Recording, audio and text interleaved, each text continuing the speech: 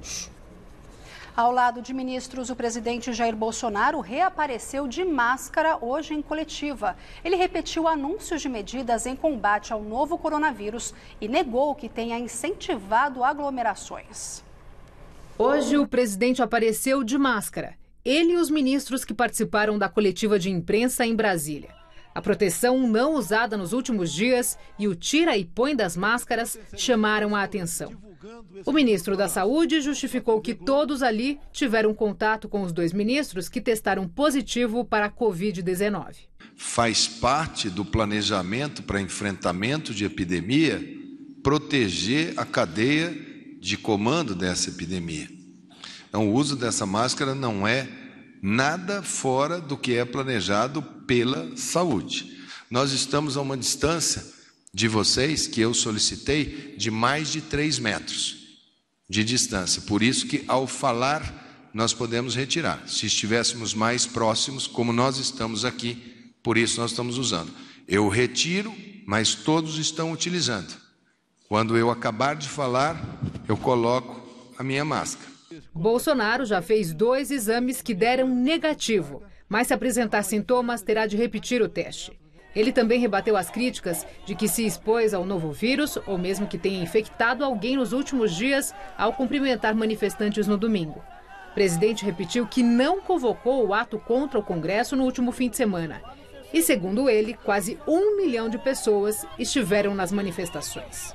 A partir do momento que não estou infectado, ao ter contato com quem quer que seja, não estou colocando em risco a vida ou a saúde daquela pessoa. Eu não fui ao encontro de movimento nenhum. Muito pelo contrário, me orgulho, o movimento que veio ao meu encontro.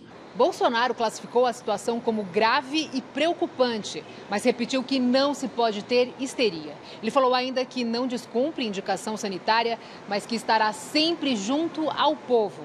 E negou que tenha postura contrária à de outros chefes de Estado. Como chefe do executivo, o líder maior da nação brasileira, tenho que estar na, na frente, junto com o meu povo.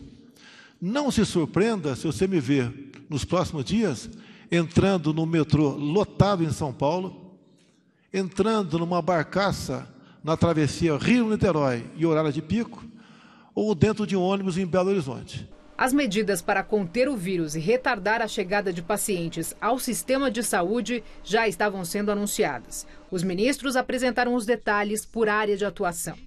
O ministro da Justiça, Sérgio Moro, também participou da entrevista e garantiu que os serviços de segurança pública vão continuar e que haverá esclarecimento aos presos sobre a restrição de visitas. Moro reforçou que o isolamento e a quarentena são amparados por portaria do governo e que prevê punições para quem descumprir a lei.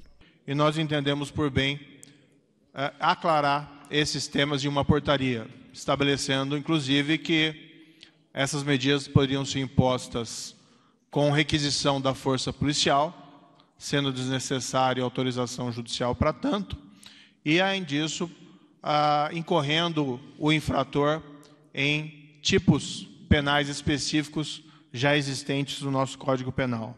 A estimativa é que, se os brasileiros não interromperem os contatos sociais, os casos de infecções no país vão duplicar a cada três dias.